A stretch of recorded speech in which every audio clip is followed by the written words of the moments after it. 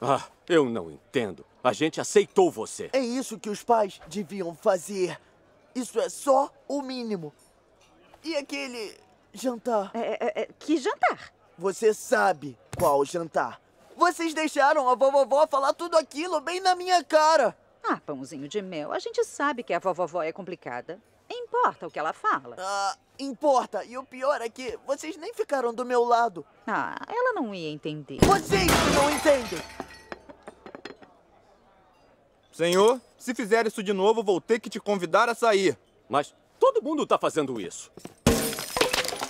Eles são atores. Olha, isso é muito confuso. É, estão dando um mau exemplo. Concordo.